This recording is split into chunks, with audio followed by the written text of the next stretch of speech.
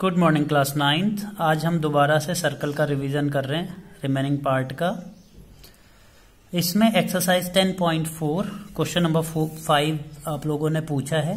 Question है three girls Reshma Salma and Mandeep are playing a games by standing on a circle of radius five centi five metre drawn in a park Reshma throws a ball to Salma, Salma to Mandeep, Mandeep to Reshma. If the distance between Reshma and Salma and between Salma and Mandeep is six metre each, what is the distance between Reshma and Mandeep?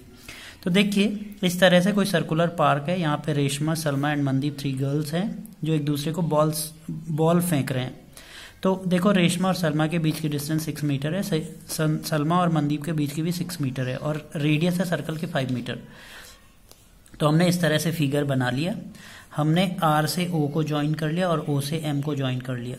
ठीक है? अच्छा फिर देखिए, सबसे पहला काम हम इसमें क्या करेंगे? हम इसमें R P O and triangle M P O को कॉन्ग्रेंट करेंगे। देखो in triangle R P O and M P O R O is equal to M O they are radii of the same circle आप देख सकते हैं इस एक ही circle की रेडियस है। O P is equal to O P ये common है, और angle three is equal to angle four ये बड़ा इंपॉर्टेंट है। देखो, ये कॉर्ड्स इक्वल है equal chord subtend equal angles at the centre तो इसका मतलब सेंटर पे ये एंगल थ्री और एंगल फोर बन रहे तो ये बराबर होंगे। Therefore triangle RPO is congruent to triangle MPO this is by S S congruency तो इसका मतलब हम कह सकते हैं R P is equal to M P and angle one ये एंगल वन है और ये एंगल टू है। तो angle one is equal to angle two अब दोनों इक्वल हैं, दोनों लीनियर पेयर भी फॉर्म कर रहे हैं, देखिए। तो इसका मतलब angle one plus angle two equal to one eighty degree therefore इनमें से कोई सा भी एक एंगल या दोनों एंगल्स नाइन्टी डिग्री हो जाएँगे। अब हम एरिया निकालेंगे ट्राइंगल आर ओ एस का। मैं हीरोन्स फॉर्मूला लगा रहा हूँ। S into S minus A S minus B S minus C R O S देखिए। आर ओ एस तो देखो सिक्स फाइव फाइव इसकी साइड्स हैं। तो six five five six S हमारा एट आ गया। इसके बाद एरिया कैलकुलेट करेंगे। आप लोगों को मालूम है, काफ़ी सिंपल है। S into S minus A S minus B S minus C तो ये सॉल्व करके twelve metre twelve twelve centimetre square twelve metre square sorry metre में है यूनिट्स मैंने गलती से सेंटीमीटर में लिख दी तो this will be metre okay metre सब जगह मीटर आप कर लेंगे। दिस इज़ इन मीटर तो अब दोबारा area of triangle R O S one upon two base into height देखिए बेस हमारे पास R S sorry O S है और हाइट हमारे पास आर पी है।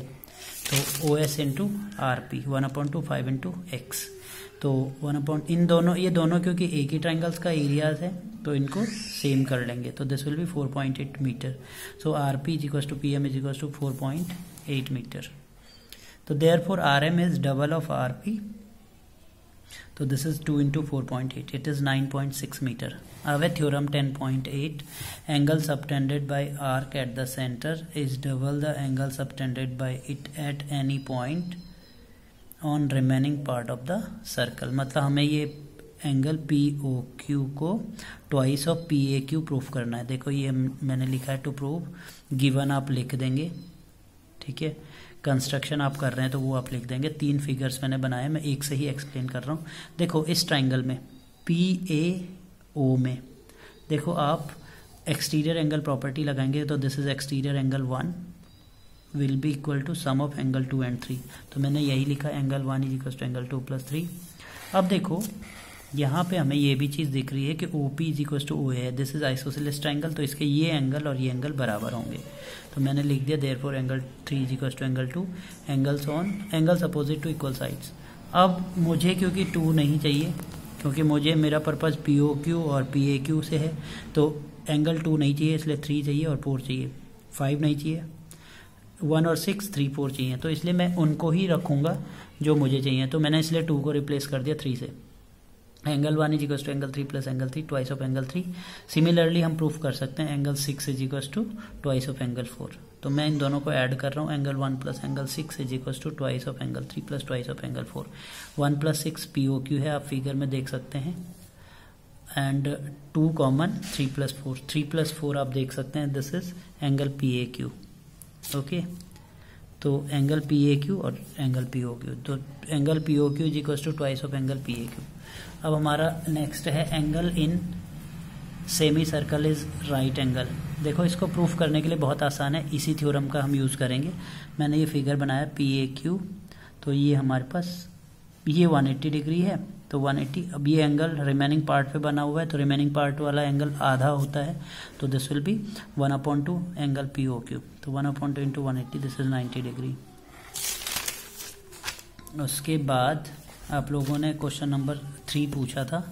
क्वेश्चन नंबर थ्री का फिगर इस तरह से था तो पी ओ क्यू हमारा 200 डिग्री हो जाएगा, क्योंकि रिमेनिंग पार्ट पे बना हुआ एंगल 100 है तो सेंटर पे बना हुआ एंगल जो है डबल हो जाएगा थ्योरम 10.8 से। अब इसमें हम ये एंगल निकालेंगे पी ओ क्यू अंदर वाला तो angle P O Q is 360 minus two hundred one sixty हो गया, फिर ये दोनों, ये आइसोसेलेस ट्राइंगल हो गया तो ये दोनों एंगल्स इक्वल होंगे X plus X plus one sixty equal to one eighty फिर उसको सॉल्व करके टेन डिग्री आपका आंसर आ जाएगा। तो इस तरीके से आपका ये क्वेश्चन कंप्लीट होगा। आप ट्राई करते रहिए, जो प्रॉब्लम आती है, पूछते रहिए। Thank you